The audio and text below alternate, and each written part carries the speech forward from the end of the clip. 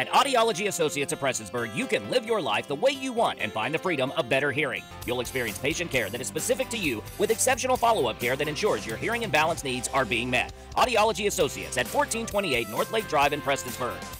As wildfires continue to spread throughout the area, wind gusts are sweeping smoke into surrounding cities. Mountaintop spoke with Public Health Director Tammy Riley to discuss the impact on residents who inhale the smoke. Wildfires release um, contaminants into uh, the atmosphere and the environment, like uh, re release of carbon monoxide, uh, fine particulate matters, carbon dioxide.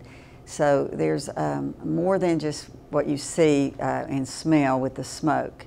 Um, there's a risk with the, the type of contaminants that are released with wildfires. Those with pre existing conditions such as COPD and asthma may be at risk for complications when inhaling smoke. Other factors such as flu season, RSV season, and COVID could play a role in health complications relating to inhalation of smoke. There's uh, quite a few um, uh, respiratory viruses.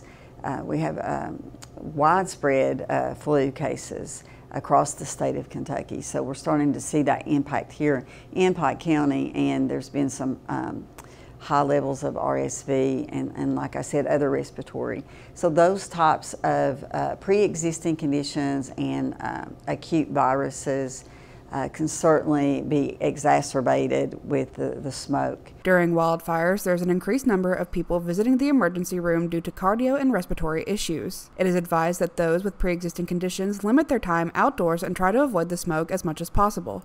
For Mountaintop News, I'm Kelsey Dean.